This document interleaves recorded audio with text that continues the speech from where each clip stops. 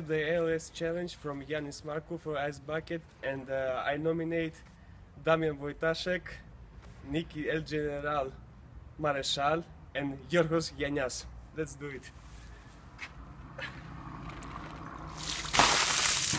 Ay!